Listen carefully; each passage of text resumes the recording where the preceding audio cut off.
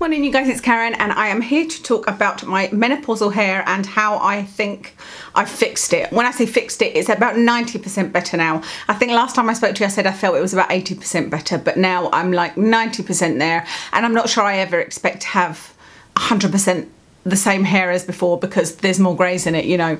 Um, so before I talk about the hair stuff, I'll give you a quick update on Watson um, because you guys have just been amazing and thank you so much for your support. Watson had his operation, it all went well. Um, I'll put a picture in so if you're not into graphic surgery pictures, look away now because it's quite a hefty wound and so it's quite um, I was going to say it's going to be quite a recovery, but it's about the same wound as his last one.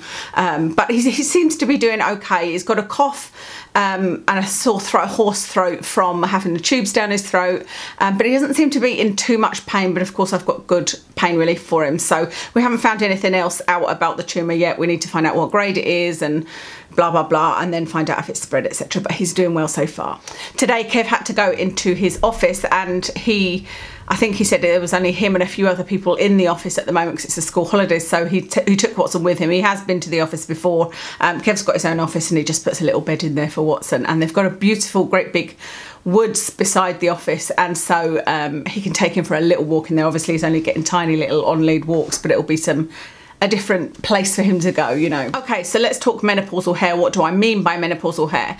Well, I noticed greys kind of earlier on this year, as you may remember, I started noticing when I put my hair up at the sides here or just on closer inspection, I could see that greys were coming through. Um, then a few months back, I don't know how many months it's been, but I just started noticing that my hair was getting, it felt dry. It always, it never felt like it was completely hydrated and it got extremely tangly when I was washing it. So any shampoo I normally use I just rinse out. Never would have tangly hair at that point. Some were better than others. You know there was a couple of shampoos where I said oh that made my hair feel awfully tangly. But it didn't matter what shampoo I used my hair it would just feel like my hair suddenly matted up and I couldn't get a comb through it or you know even then putting tons and tons of conditioner it was still hard to get my comb through it. And normally once I put my conditioner through a wide tooth comb would go through it no problem. So it's getting very very tangly it was dry and I was noticing a huge amount of hair loss. Um, um, so hair loss from just when I was sitting here, there was hair everywhere. When I'm sitting on the couch, there's hair everywhere. When I brushed my hair, there was a lot more hair coming out.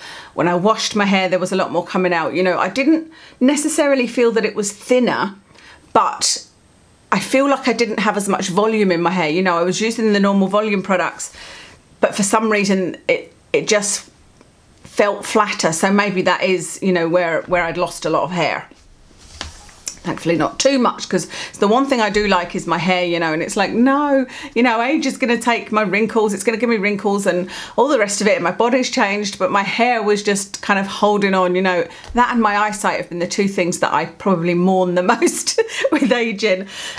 And I'm going to be 50 next year by the way in June next year will be my 50th so I think that's all the symptoms if you like. My usual products weren't working um, my usual tools weren't working my Babyliss um, you know the rotating brush that I've been using for years and years and years.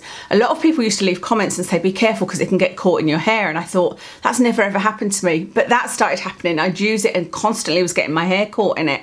Um, so why this is all happening is I believe it's menopausal hair. I, I think it's hormonal changes. You know obviously you lose estrogen as you are. I'm perimenopausal. I'm still having periods and whatnot. Um, but heavy periods and you know so it's I'm not far off being menopausal. I think when you're 50 or, or have gone a year without a period, in the UK anyway, that's when they consider you menopausal or postmenopausal. Um, so yeah, hormones and also the grey hairs, you know, although I don't think it's completely obvious, it's just looking like a scattering at the moment.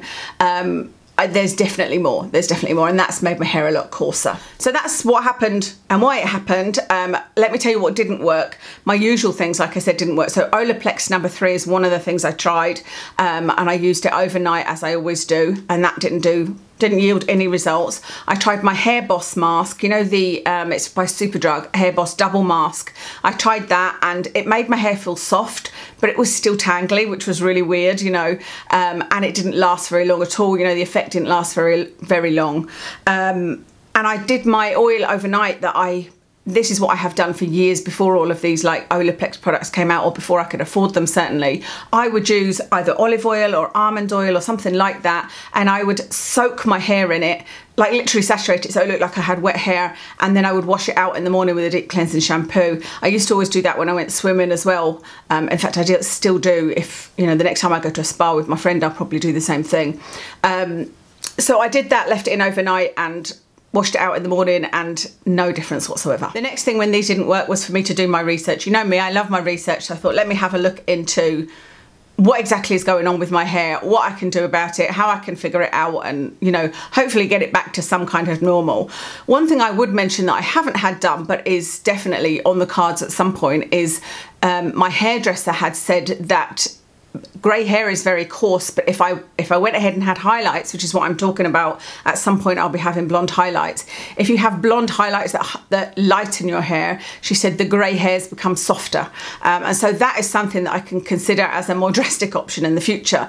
Um, I'm just kind of keeping an eye on my hair at the moment and seeing what I think about the greys you know um, but I do kind of fancy having highlights. It's just that it's quite a permanent thing you know so what I found out is that there is a way of testing to see exactly what your hair needs, whether it needs a protein treatment um, or hydration and they're two different things. Something that I learned that I didn't know is that Olaplex is not a protein treatment and a protein treatment includes like keratin is a protein so a keratin treatment would be a protein treatment um, but I knew that Olaplex was a special kind of painted patented ingredient um, that mended bonds, but I assumed that there was some protein in it and there isn't. So Olaplex kind of sits out with of protein or hydrate. Um, but yeah, you can figure it out. So what you do is you take a wet strand of hair. So when you've washed your hair, or I just wet a bit of my hair and pulled a strand of hair out, you sit with it about like so. So about, what's that? Eight centimeters and pull it and see does it stretch or does it immediately snap? That's basically the test that you do. If it immediately snaps, then it needs hydration. Let me double check this. Doesn't snap, needs protein, snaps need hydration. Yeah, if it snaps immediately, it needs hydration. If it doesn't snap, but it but it stretches, then it needs protein. I suppose the only option I don't see here is, well, what does normal hair do? I don't know what it would do if it was normal. Anyway, I did this with mine and it snapped, and so I realised that I needed hydration. I didn't need to use a protein treatment, um, which is good to know because what started that kind of ball rolling was somebody said, do you think you've used too much Olaplex? Well, I actually don't use Olaplex very often. I've used it, I'd say I've bought probably four bottles of it and I use them twice. And so I've used it eight times in the last few years. I, I, you know, I use it every few months. I used to use it when my hair felt bad, which wasn't that often. Um, so I didn't think that it would be too much of anything, but I wanted to look into that.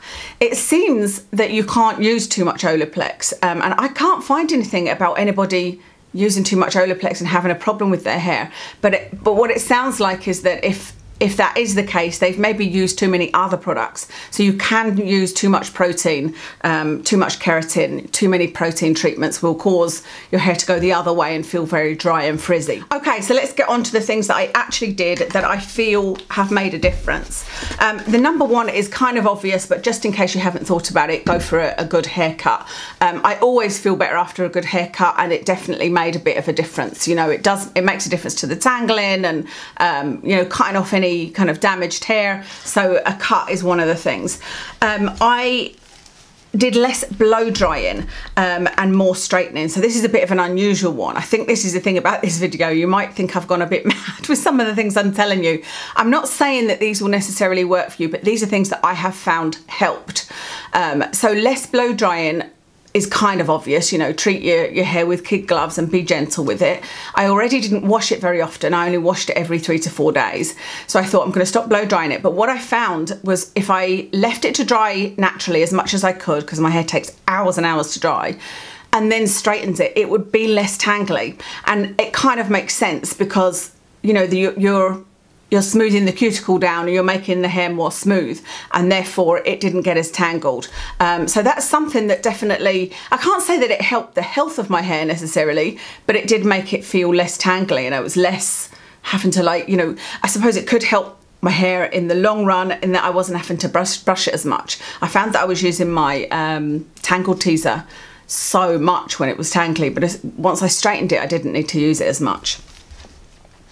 Um, number three, again, is something that you'll be like, no, no, no, that's not going to work. But I've put more washing, more hair washing. And the reason for this is, like I said, I already didn't wash my hair like every three to four days. And that's something it took me a long time to get used to that. When i started this youtube channel i used to wash it every other day. And i couldn't imagine going three days you know because i was desperate to wash it on day two.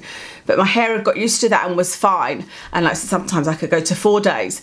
But again what i noticed was that when i washed my hair as long as you're using kind of gentle or um, focused products for the problem which i'll talk about in a minute then cleaner hair seemed to be more detangled, you know, and softer and smoother. It just seemed that it wasn't as tangly if I washed it more, even though using the shampoo was making it a bit tangly. I could feel it getting less and less as I was doing all of these things. Um, so I don't know if that makes sense to you, but like I said, cleaner hair. It's the same kind of theory as as with dogs. You know, a lot of people tell me you shouldn't wash your dog that often. I heard that so much when I was a groomer. You know, when I have my little grooming salon here, and it's it's not right. The problem is if you don't rinse dogs enough. There's certain breeds that have got waterproof undercoats that you shouldn't wash as much, but not many of them. But cleaner coats mean that you can brush easy more easily through them, and it's the same with hair. Cleaner hair you can is less tangly. Number four, another perhaps odd one, but I stopped using my volume products because I thought, you know what, they're not working. they're absolutely not working. They're not giving me volume. It seems to work a little bit at the beginning and then it's just sort of my hair's flat within like half an hour. I was like, what is going on? I felt quite depressed about it all because like I said, my hair's been really important to me over the years. Even since I was, you know, a young girl, I had so many compliments on my hair and it was, I was never confident about anything about myself, but it always used to make me feel nice that I was like, wherever I went, people complimented me on the colour or the shine or something about my hair, you know. Um, so I stopped using volume products because I thought what my hair needs is products that are going to treat it um, and are going to hydrate it. They volume products by their very nature are going to hold your hair in position and you know oomph them up and so I just thought then they're, they're not going to contribute to my hair being smooth and detangled and if I can get to that stage and kind of take things as baby steps then then I can add back in a volume product once I've sorted my hair out. So I stopped volume products and I thought I'm just gonna wash, condition or mask or whatever and then put leave-in products in. One of the other things is I stopped putting my hair up as much and using these these little elastics I've got in here. I don't think it's something you guys will have noticed on camera, but um, excuse me, um, off camera on a daily basis I put my hair up a lot actually I use a lot of elastic bands I mean I don't use ones that are harsh on the hair but I will you know twist it up and put it in a bun on my hair to walk Watson or um, I'll put the fringe up in a little these little elastics when it's not winter because it keeps it off my face you know especially when you're bending down to pick up poops and whatnot you know you want the hair off of your face and so anything like this like what I'm doing here this is going to pull hair and this is going to make um, your hair thinner. Like they say, it's not very good for you to do this. So I've done this a lot less and on a daily basis, just kind of put up with the wind blowing my hair around, you know it's not too bad now because I'll be able to wear a hat. As soon as it's winter, I get my, my beanie on and it's fine. The next thing I did is a product use and it's this. And it is the Alpecin, I don't know if that's how you say it, but it's the caffeine shampoo. Um, I just got this one from Asda actually, but it is, it is cruelty free, this one. And I think it might be vegan. And they say it's suitable for vegans, which I think is a weird way of putting it. But anyway, um, so I got this. Like I said, I had done my research.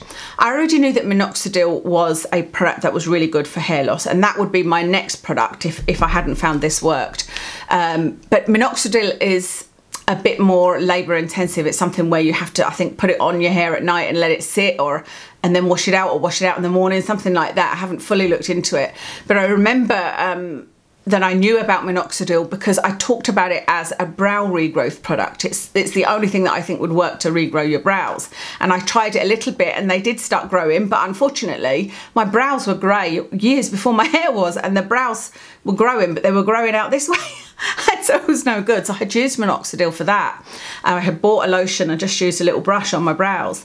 Um, and so I knew about the science behind minoxidil. What I didn't realise was, I said to you guys about using nioxin. I didn't realise that nioxin products were actually minoxidil.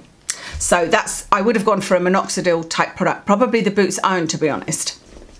But there is also some research about caffeine um, and that caffeine helps with hair loss. So this is the I'm targeting hair loss with my um, with the caffeine shampoo or with the minoxidil. So I thought I would try this first, being as it was just a shampoo. You just have to put this on and let it sit for a couple of minutes and then rinse it out. So I did that for about four or five days and I have used it um, intermittently since I haven't used it on every single wash because I've been using other products that I'm going to tell you about and I really do feel that this is helping. In fact it's been a few washes since I've used it and today is the first time in mm, a week and a half to two weeks that I've been noticing more hair again you know. I don't know whether that was just because I was using a curling tong on it or whether it is because there's more hair coming out but I'm going to use this today when I wash my hair um, for sure. So this is something that I think has been really useful. Um, there's a really interesting study actually showing that caffeine and minoxidil together work really well so if you used this along with a minoxidil product if you've got really thinning hair so that's something I would try um, and I know that you know the science is there for it to work okay the next thing I used was the Philip Kingsley Elasticizer. This has been mentioned to me many times over the last probably year or so. And it's something that I tried like 10 years ago, maybe 15 years ago. I tried it many, many years ago. I remember I bought it from, I think it was Marks and Spencer's I bought it from.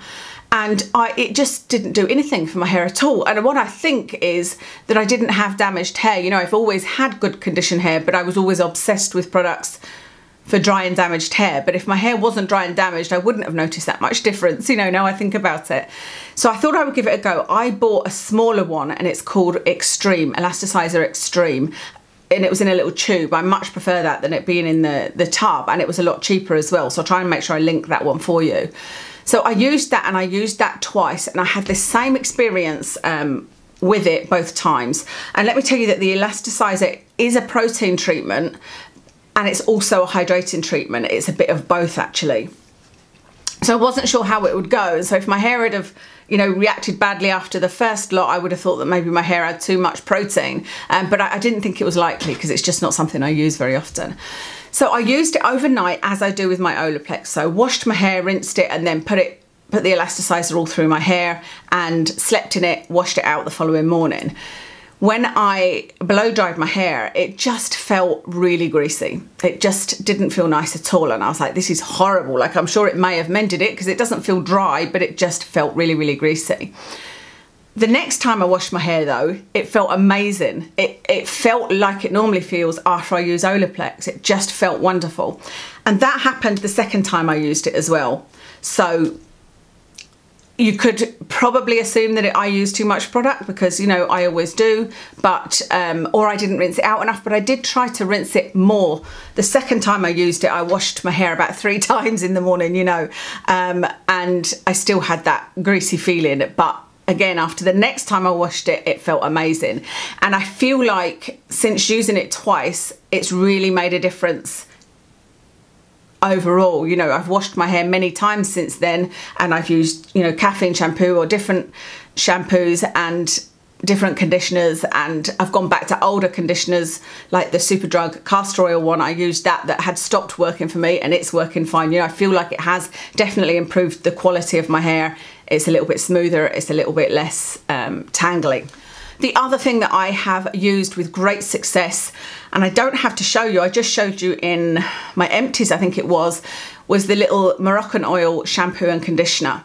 Um, the Moroccan oil is brilliant. I do have that. This is something I've been using for years and years and always loved it, but it doesn't work brilliantly for me, or it didn't work brilliantly for me if I was using volume products because it would just my hair would seem to go flat. But like I said to you, I kind of stopped using volume products for quite some time and just was concentrating on healing my hair and using the Moroccan oil shampoo conditioner and this definitely makes a difference to my hair. The shampoo is great and I would never think I would spend money on a shampoo but I am going to, actually I put it on my list for today to do to buy the full size shampoo and conditioner um, and I'm not going to use them all the time because they are very very expensive but if I feel like my hair is getting a bit tangly again I'll start to use those because they did really I didn't have any problem when I used those. You know, my hair didn't feel tangly when I was putting the shampoo in. It felt beautiful, smells beautiful. They're just all round lovely products. And quite a few people have said that they are products they turn to when their